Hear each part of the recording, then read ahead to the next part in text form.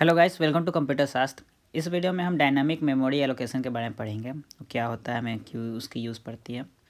तो जब भी हमें मेमोरी का नीड पड़ता है तो हम ऑपरेटिंग सिस्टम को आस्क करते हैं कि मुझे इतने मेमोरी की ज़रूरत है तो ऑपरेटिंग सिस्टम हमें प्रोवाइड करता है।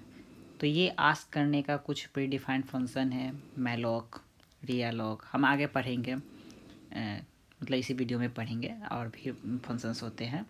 जब भी हमें मेमोरी की नीड पड़ती है तो हम किसी फ़ंक्शन से आस करते हैं। सिस्टम फ़ंक्शंस को सिस्टम फ़ंक्शन आस करता है ऑपरेटिंग सिस्टम को और ऑपरेटिंग सिस्टम हमें प्रोवाइड करता है। तो ये एक चेन प्रोसेस है।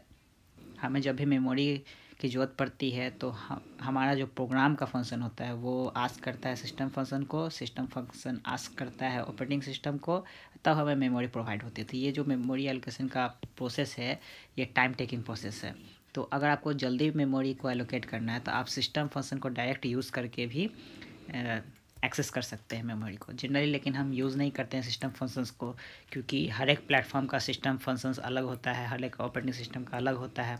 तो हमारा प्रोग्राम डायनामिक नहीं रहेगा करने का मतलब कि हर एक ऑपरेटिंग सिस्टम पे रन करने के लायक नहीं रहेगा, इसलिए हम प्री डिफाइंड फ़ंक्शन को यूज़ करते हैं। तो चलिए देखते हैं, ये जो डायनामिक मेमोरी एलोकेशन है, वो कैसे होता है। जब भी हम कोई प्रोग्राम बनाते हैं तो प्रोग्राम कुछ मेमोरी जो लेता है तो मेमोरी कैसे यूज़ करता है, वो देखते हैं। तो जो भी प्रोग्राम का कोड है वो एक, समझ लो, ये एक स्टैक ले स्टैक जैसा है, वो सबसे नीचे होता है प्रोग्राम कोड इसके ऊपर एक स्टैक में आपका जितना भी ग्लोबल वेरिएबल हो गया स्टैटिक वेरिएबल हो गया एरे हो गया, ये सभी स्टोर होते हैं। मतलब इस मेमोरी इतने मेमोरी में, छोटे से मेमोरी साइज़ में जितने वेरिएबल्स हैं, आपके वो स्टोर होते हैं। और बाकी के कोड जो भी है, वो यहाँ पे स्टोर होते हैं। क्योंकि जो भी कोड है, वो भी तो लिखा हुआ है, वो भी तो थोड़ा सा स्पेस लेंगे तो वो यहाँ स्टोर होते हैं। बाकी बीच का जो मेमोरी होता है, इसे हम हीप मेमोरी कहते हैं। हीप मेमोरी का जो प्रॉपर्टी होता है, वो समय के साथ अपना साइज़ कम या ज़्यादा कर सकता है। तो ये कम या ज़्यादा कैसे होता है कि हीप मेमोरी के ऊपर एक स्टैक होता है, जिसमें हमारे जो भी इम्पोर्टेंट फ़ंक्शंस होते हैं, जैसे कि मेन फ़ंक्शन हुआ तो मेन फ़ंक्शन होता है। मेन फ़ंक्शन किसी एफ़ ऑफ़ एक्स फ़ंक्शन को कॉल किया तो वो भी स्टैक में ऐसे आ जाएगा, नीचे की तरफ़ बढ़ते जाएगा, ये नीचे की तरफ़ बढ़ते जाएगा। जैसे उसका काम होगा रिटर्न करके, वो पॉप हो जाएगा।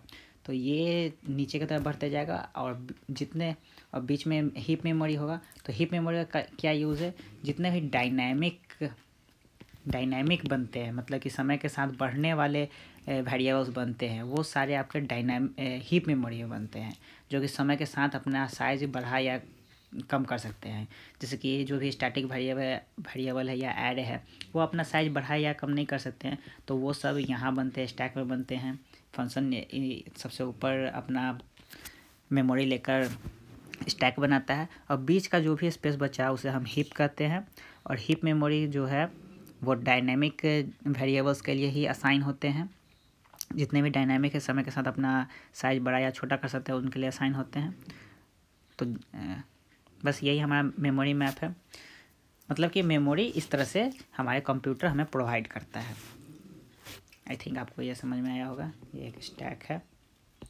तो देखते हैं हमारे सी प्रोग्राम में सी प्रोग्राम में कौन से फ़ंक्शन हैं जो कि हमें डायनामिक मेमोरी देते हैं? मतलब जैसे हमें जब जब नीड पड़ेगा, जितना नीड पड़ेगा, उतना मेमोरी हम कैसे लेते हैं सिस्टम को कॉल करके? तो हमारे पास चार ऐसे फ़ंक्शन हैं malloc realloc calloc and free memory तो हम इन तीनों से लेते हैं फ्री से हम इनका मेमोरी फ्री करते हैं। तो ये हमारे फ़ंक्शंस हैं। तो एक एक करके देखते हैं।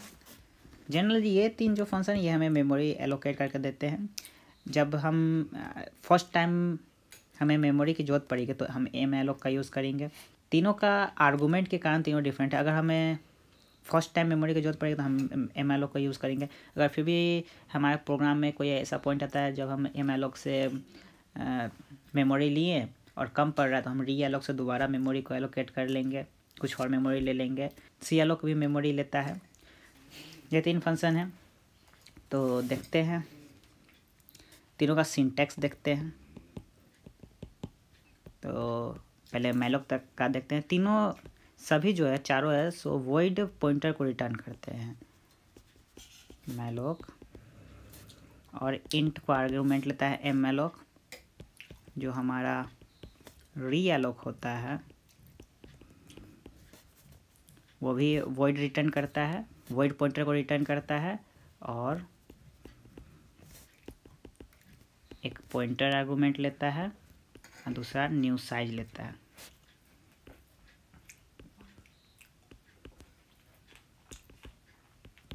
तो ये कौन सा पॉइंटर हुआ जैसे कि एम एलोक से मैंने पी पॉइंटर पी पॉइंटर में मेमोरी एलोकेट किया, अभी मुझे पी पॉइंटर को बढ़ाना है तो पी का यहाँ पे पी आ जाएगा मतलब कि लास्ट जो एम एलोक से एलोकेटेड पॉइंटर था वो यहाँ आ जाएगा और साइज़ बढ़ा देगा।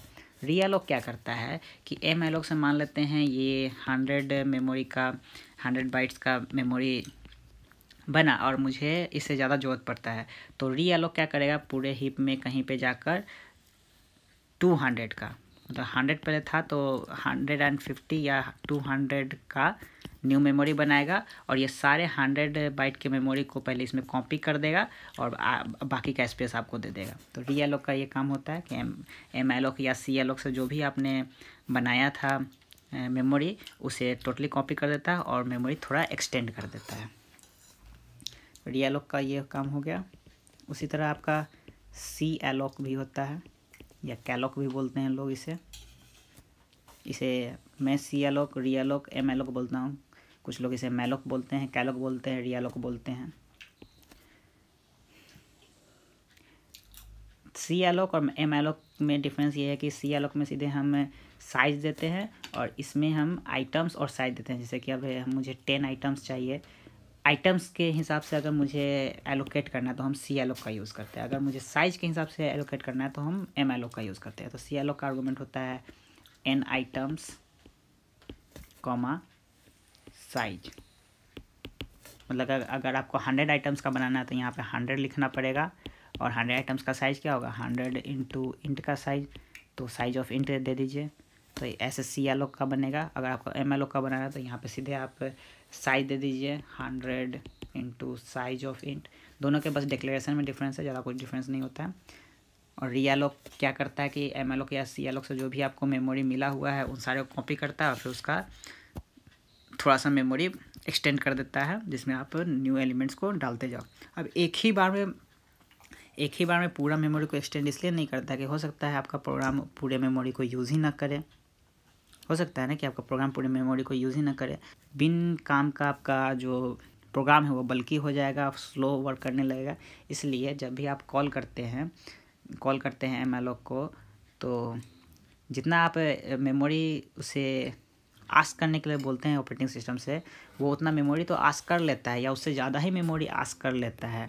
लेकिन आपको बाइट में मेमोरी देता है छोटा छोटा टुकड़ा करके मेमोरी देता है। जब आप एक पार्ट ऑफ़ मेमोरी को फुल कर लोगे तो वो सेकेंड वो क्या करेगा? फिर से एक मेमोरी बनाएगा और इस वन पार्ट को इसमें कॉपी कर देगा और थोड़ा सा और उसमें एक्स्ट्रा स्पेस रहेगा। जब आप इसे भी फुल कर दोगे तो वो फिर से एक नया मेमोरी बनाएगा हिप में और इन पूरे, इस पूरे को कॉपी कर देगा और यहाँ पे कुछ खाली स्पेस रहेगा। फिर आप इसको भरोगे।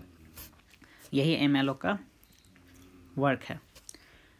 तो ये तो आप देखें सिंटैक्स में एम में एम का रिटर्न टाइप वॉइड होता है। बट जब हम यूज़ करते हैं तो हमें टाइप कास्ट करना पड़ता है एम को। कोई भी एक जैसे कि डायनामिक एरे बनाते हैं तो इंट टाइप का अगर डायनामिक एरे बना रहे हैं तो जैसा कि आपको पता है पॉइंटर दो पॉइंटर सेम टाइप का होता है, तभी हम उसे असाइन करते हैं। तो एम को एक पॉइंटर को एज अ रिटर्न देगा तो इसे पॉइंटर के पॉइंटर किसी पॉइंटर वेरिएबल में ही असाइन करना होगा। तो जब हम पी में असाइन करेंगे तो एम एल ओ को टाइप कास्ट करना होगा, जो भी इसका डाटा टाइप है उसमें। तो यहाँ पे इंट में डाटा टाइप है तो इंट स्टार करना होगा। एम एलॉक जो भी साइज़ है इनटू साइज़ ऑफ़ इंट यही हमारा डिक्लेरेशन है एम का। क्या है? कि जो भी टाइप का हमारा पॉइंटर है वैसे टाइप कास्ट करना होगा, अंदर में मुझे साइज़ देना होगा, यहाँ पे एम लिखना होगा। सबसे ज़्यादा यूज़ एम एल का ही हम करेंगे। और री का भी समझ में आया कि जैसे कि अगर हम, मुझे री का यहाँ यूज़ करना है तो फिर से री पी में ही करना है तो P is equal to type cast करेंगे सिमिलरली री पी को एक्सटेंड करना है तो पी देंगे। कितना साइज़ चाहिए? फिर से हम साइज़ दे देंगे, मान लेते हैं। वन थाउज़ेंड बाइट चाहिए तो वन थाउज़ेंड दे देंगे और हमारा रीअलॉक हो जाएगा। समझ में आया? सिंपल सा है। आपको अगर डायनामिकली हीप में मेमोरी चाहिए, जो समय के साथ बढ़ता रहे या कमे तो आप इसका यूज़ करोगे। अगर आप फ्री जब भी आपका प्रोग्राम लिख रहे हैं, आपने डायनामिक मेमोरी का यूज़ किया, और आपका मेन फ़ंक्शन में सारा प्रोग्राम रन किया और रिटर्न कर गया तो अगर आपने फ्री का यूज़ नहीं किया फ्री का यूज़ नहीं किया अपने पॉइंटर को फ्री करने के डायनेमिक मेमोरी का यूज़ करने के लिए तो जब भी आपका मेन फ़ंक्शन रिटर्न करेगा तो सिस्टम अपने आप फ्री का यूज़ करके सारे मेमोरी को रिलीज़ कर देगा। तो आप चाहो तो कहीं बीच में भी फ्री कर सकते न्यू एलिमेंट में साइन कर सकते हो फ्री फ़ंक्शन का यूज़ करके नहीं तो आप चाहो तो नहीं भी कर सकते हो। बस डायनेमिक मेमोरी एलोकेशन यही सब छोटी छोटी बातें थी। तो फिर न्यू वीडियो में मिलते हैं. Thank you for watching guys